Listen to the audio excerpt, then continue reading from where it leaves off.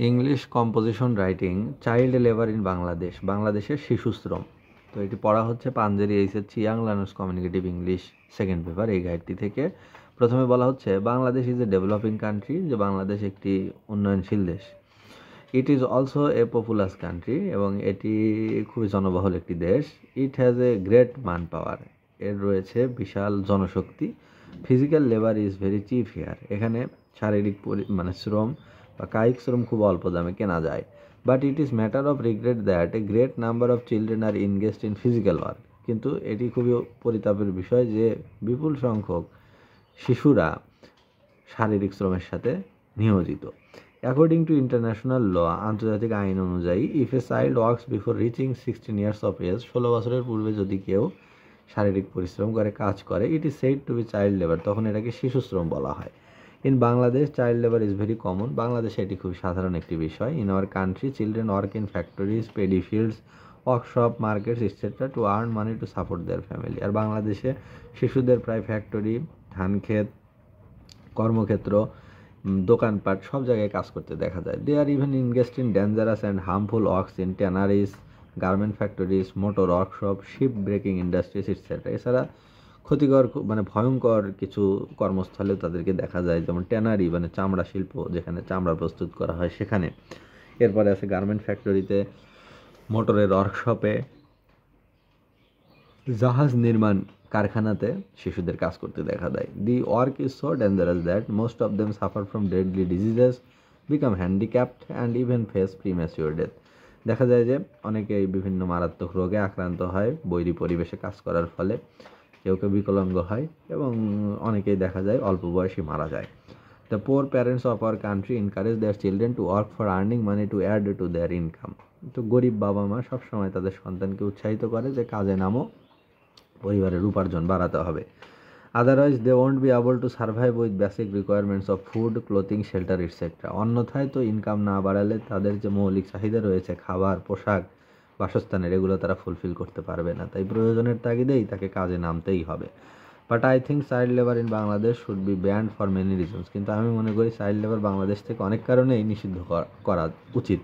First of all children should be saved from unhealthy atmosphere in the work place and deadly diseases প্রথমত unhealthy পরিবেশ যেগুলো রয়েছে, ভয়ঙ্কর পরিবেশ যেগুলো রয়েছে, সেখান থেকে ওদের কাছ থেকে দূরে রাখতে হবে।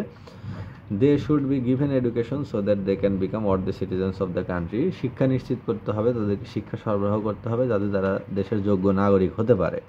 Children should be reared up in the atmosphere of motherly affection rather than in the hostile condition of the work places শিশুদের মানুষ করতে হবে মায়ের পরম স্নেহের ছায়ায়।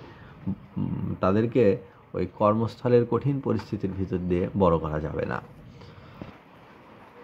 But at the same time the main cause of child labour in our country should be properly addressed it is the economic cause of the family প্রধানত বাংলাদেশে যে চাইল্ড লেবারের মূল কারণ, সেটা হচ্ছে ইকোনমিক কারণ, অর্থনৈতিক কারণ। অসচ্ছলতাই দরিদ্রতা এর পিছনে মূল কারণ।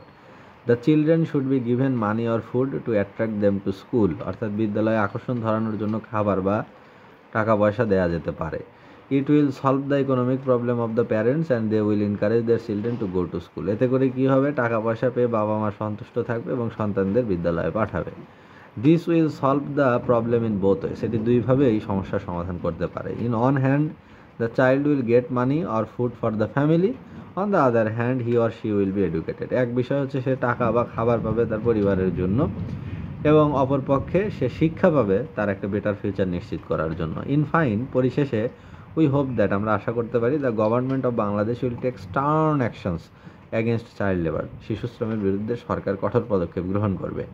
Besides we will we all should work combinedly to remove child labour from our society country আর আমাদের সবাইকে মিলে সম্মিলিতভাবে চেষ্টা করতে হবে যে আমাদের দেশ থেকে শিশু শ্রম নিষিদ্ধ করা।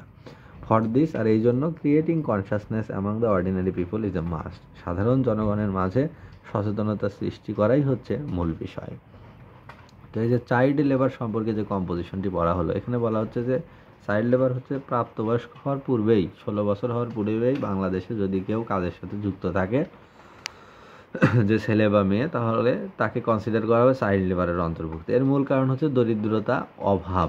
কারণ তাদের যে বেসিক রিকোয়ারমেন্ট আছে খাদ্য বস্ত্র বাসস্থানের, অর্থাৎ food treatment and shelter cloth এটা তারা পূরণ করতে পারবে না। এই জন্য গরিব বাবা মা তাদের সন্তানকে উৎসাহিত করে কাজে নামার জন্য, যাতে পরিবারের ইনকাম বাড়ে, এতে খাওয়ার কষ্টটা না হয়। তো এটা দেখা যাচ্ছে চাইল্ড লেবার তারা মাঝে মাঝে মানে যেটা ভয়ঙ্কর কর্মস্থল, যেমন ট্যানারিতে বা খনিতে কাজ করে কেউ। কেউ বা দেখা যেতেছে যে গার্মেন্ট ফ্যাক্টরিতে মোটর ওয়ার্কশপে জাহাজ নির্মাণ কারখানায়, তো এতে কি হয়? শারীরিক তাদের অনেক ক্ষতি হয়। অনেক ডেডলি ডিজিজ হতে পারে। ছোট বাচ্চা ওটা অ্যাবজর্ব করতে পারে না অনেক সময় কিন্তু শিশুরা। তো তখন দেখা যায় যে তাদের নানা রকম রোগ হয় প্রিম্যাচিওর ডেথ পর্যন্ত হতে পারে। তো মানবিক দিক থেকে তাদের আসলে এই কাজ থেকে দূরে রাখতে হবে। কিন্তু দরিদ্রতা না, দেশ থেকে দূরীভূত হলে রিমুভ না হলে তো আর তাদেরকে এই কাজ করা যাচ্ছে না। এই জন্য সরকারের বা অথরিটির এনজিওর এদের উচিত হলো কীভাবে তাদেরকে একটু ইনসেন্টিভ দিয়ে, পারিতোষিক দিয়ে, খাবার দিয়ে ফুড দিয়ে বা মানি দিয়ে তাদেরকে অ্যাট্রাক্ট করা বিদ্যালয়ের দিকে। তাহলে মানি বা ফুডটা তাদের পরিবার পেল ফ্যামিলি পেল প্যারেন্টস পেল, আর শিক্ষাটা সে পেল। তাহলে দুই সাইডই ঠিক থাকল বোথ সাইড ঠিক থাকল। এবং সাধারণ জনগণের মাঝে যে সচেতনতা, সেটি তো বৃদ্ধি করতেই হবে। তো এই অংশটুকু পড়া হলো Panjeree, HSC young learners communicative English model questions second paper এই গাইডটি থেকে।